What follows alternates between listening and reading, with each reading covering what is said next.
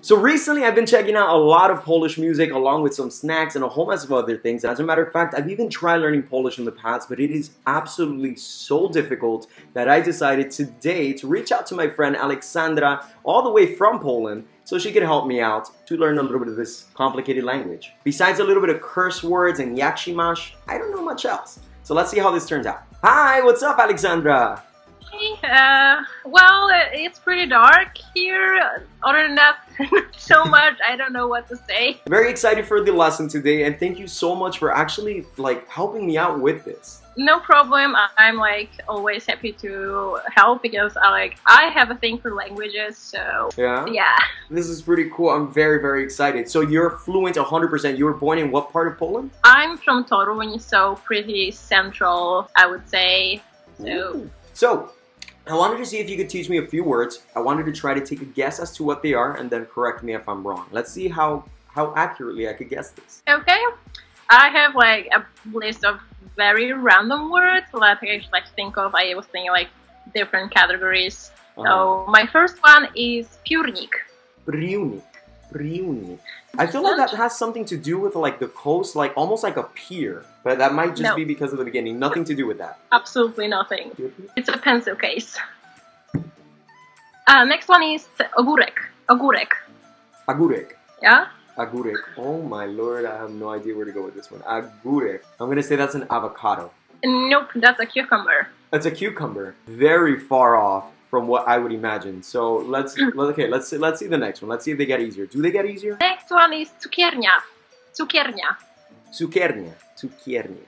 Wow, cukiernia. I feel like there's two N's somewhere there, like two N's.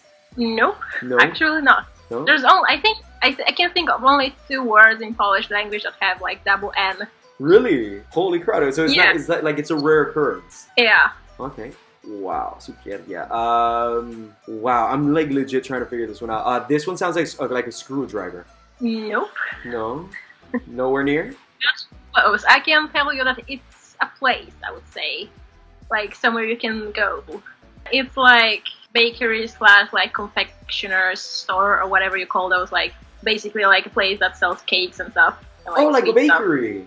Stuff. Uh, I mean, like it's usually just like a place that doesn't really have bread or stuff like that. They like mostly have like cakes or like Danish or whatever stuff like that. I would say, and like you have also piekarnia would be a place that's like I would say like the closest to bakery because it's like mostly bread then. Yeah. Oh my God. So Picarnia is mainly that is closest to a bakery, but this one is something completely different. So what's next? Zdyskwalifikować. What? Is that one single word or a sentence? It's one single word. I was trying to like come up with something that's kind of long, so. Well, you have succeeded. I'm just saying. Can you break it down for me, please? Dyskwalifikować. Dyskwalif dyskwalifikować.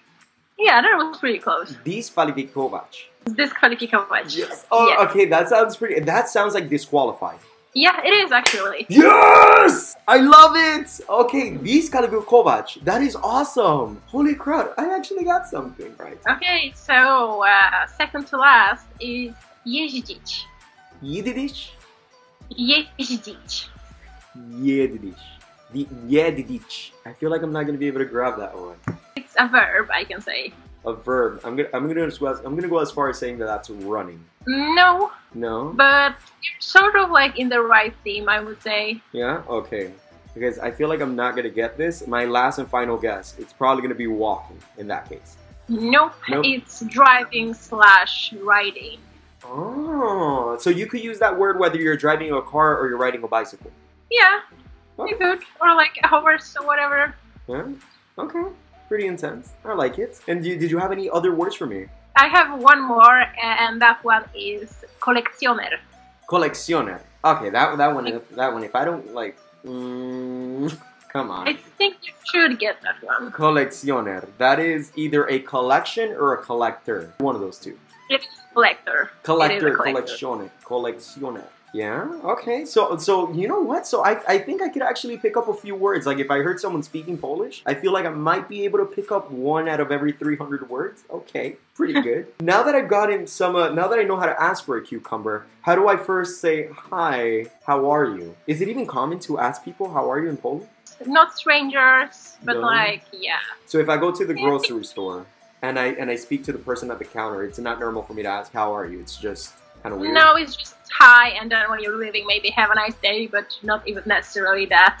Really? Okay. You see, here in the states, like we have, like if it's, it's almost rude. It is really rude. Like if you don't hold a little bit of a small conversation, like you have to ask, "Hey, how are you?" And usually by the time you're saying "How are you," you're already way past each other, way past each other. So if you answer, the other person turns or like turns around and they look at you all weird. It's pretty odd. So how do I say, "Hi, my name is Brian"? E, Cześć, mam na imię Brian. Cześć, my name is Brian. Mam na imię. Ma niemie. Mam Mom. na imię. Mama na niemie. This is the first time I'm having such a difficult time just saying, Hi, my name is Brian. You should try Finnish. I tried to learn how to say that in Finnish, and that was impossible. Yeah. Finland is a whole new category. Let me just say that much. Okay, so um, uh, so how was it? E, Cześć, mam na imię Brian. Cześć, my name is Brian. I think people would understand that. Yeah, they're gonna know I'm foreign. They're gonna be like, we gotta rob this kid the moment he exits Yeah. the store. yeah. Pretty much impossible to speak Polish in a way that no one like catches a hint that you're not from Poland. Oh right. So mm. so now that I said hi, my name is Brian. How do I say have a good afternoon or whatever? Yeah, I'm trying to like think what the hell do we say in Polish? Dzień dobry. Dzień, dzień, dzień dobry. Yeah, that was pretty good. Dzień dobry. Okay. I'm doing pretty bad, aren't I? it's fine. I would say above average actually, because I think Polish is really difficult and most people are terrible at pronouncing. I think you're you're doing a Mhm. pretty good job. Oh, thank you. I appreciate it. If you guys think I'm doing a pretty good job, don't forget to hit that like button. It really does help with the YouTube algorithm. Just saying. So we got that down. So now that now that I've learned how to say my name and how to say good day, how do I uh, like what are like what are some common phrases? Like someone I want to give someone a piece of advice, even though I'm not Polish. I want to say some piece of advice. What are some common sayings in Polish? Uh, more or less common. I- heard it a lot as a kid, and is uh, czego Jaś się nie nauczy, tego Jan nie będzie umiał. Which basically means that uh, if you don't learn something at a young age, then well, you obviously won't be able to do that thing when you're an adult. Oh, okay. So yeah, so uh, kind kind of also like saying uh, practice makes perfect to an extent.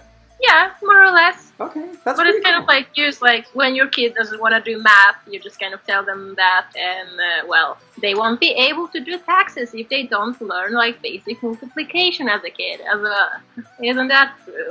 That is that is 100% true. So guys, do your taxes, start studying, do your math. I actually dropped out of college twice because of math. I, I feel bad saying that online, but if my teachers are watching this, hi. So that's actually pretty useful. I guess I could see how people could integrate that and give that advice to other people. Uh, last one I have is uh, wyjątek potwierdza regułę.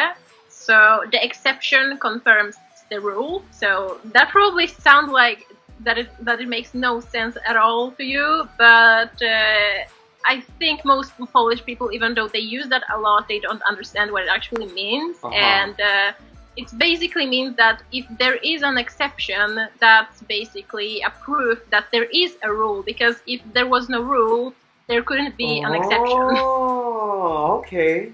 Okay, so it's confirming something by by there being wrong. It's confirming that there is a right. Okay. Wow, that is I love that. I love that. And so have you ever heard that translated in English? Like like is there actually something like that in English or no? I don't think I ever seen that. I just only heard it in Polish a lot, and mostly with people like doing, being like, "Oh my God, but there is an exception. How can there be a rule?" I mean, like, that that like you know what? I actually like that. That's really really cool. Okay, so but now how do I properly pronounce it? That's the real question. wyjątek Wyjątek potwierdza potwierdza regułę. regułę. That's it. Three Yeah, words. just three. Yeah, it sounded like a Yeah, full freaking sentence. when you said it. well, you said it. It sounded like this whole massive thing, but it's only three words. That's um pretty great. Yeah. All right. So we got that. So now, now that we've gotten some of the more simple stuff, let's really just explode my brain. Let's make let's make my my brain splatter all the way over there. That'd be uh, interesting. Let's try some tongue twisters. Okay, the first one is uh, the most common one probably, and that's stół powyłamywanymi nogami. That's three words more or less, or like two words with a connection between them. I'm already busting my brain. It sounds like a lot of W's, a lot of W's and a lot of V's. Stóż I cannot. I have no idea where to put the emphasis or where not to. Stóż. Yeah, it's pretty hard and probably not something you say a lot actually, and it just means uh, a table with broken out legs. Hmm, that sounds pretty useless. I mean, the, the leg, like the table, not the actual saying. Yeah. And like the actual tongue twister, it's not really something you run into very often. Okay, I see it. Well, I tried it out. Clearly that did not work out. But thank you, I really do appreciate that. Like, honestly, like, you're absolutely amazing. Thank you so much for helping me out with Polish. Like, this was intense. Is there anything you want to say in Polish to, uh, to the viewers, such as like, don't forget to subscribe. Oh, how the hell do you say that in Polish? I don't really watch YouTube in Polish, so I'm not sure what uh, people say, but I will guess uh, nie zapomnijcie zasubskrybować? Yeah? I don't know. So that's the closest thing we got to subscribe in Polish, so if you didn't understand it in Polish, I'll say it once more in English. Don't forget to hit that subscribe button for more amazing videos just like this one, and we got some other amazing things where I cover the Polish music, the Polish food and snacks and all sorts of things in between. Some of them will be linked down below and others at the end of this video. Guys, don't forget, I do have a P.O. Box right over here in case you want to send over all sorts of snacks, candies, postcards, which I collect, just saying. It would be absolutely amazing if you send something over. Please just let me know on Instagram. I would love to personally thank you. But anyways, my friends, dosi zobaczenia, and I'll see you guys on the flip side. Bye!